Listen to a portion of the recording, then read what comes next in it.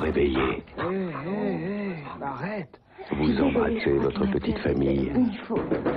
Vous ramassez le journal du matin. Et bien que cela vous paraisse un jour ordinaire, ça ne l'est pas.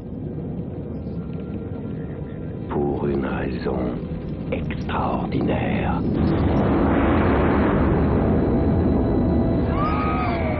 Un événement historique sans précédent vient de se produire. La question, sommes-nous seuls dans l'univers, vient de trouver une réponse. Ça alors, c'est cool. Quatre vaisseaux viennent d'arriver au-dessus de l'Inde, l'Angleterre, l'Allemagne. Je ne crois pas qu'ils aient parcouru 90 milliards d'années-lumière pour déclencher une guerre. Il faut les arrêter immédiatement, sinon ils vont tous nous tuer Ils utilisent nos satellites contre nous. Le temps nous est compté.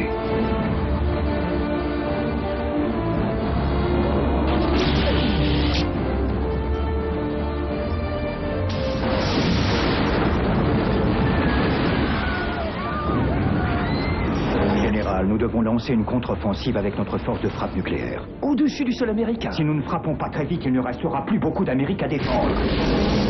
Nous allons être exterminés. Vote l'ennemi et on gagne la partie.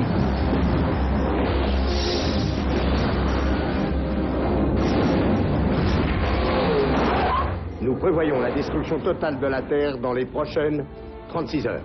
Tu sais pas viser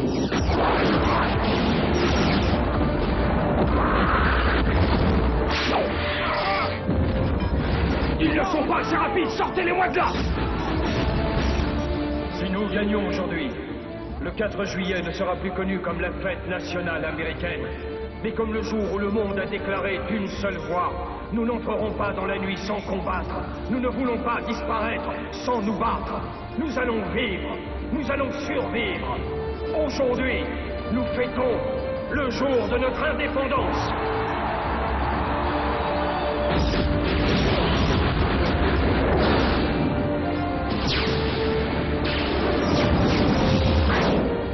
Ce que j'appelle une rencontre de troisième type.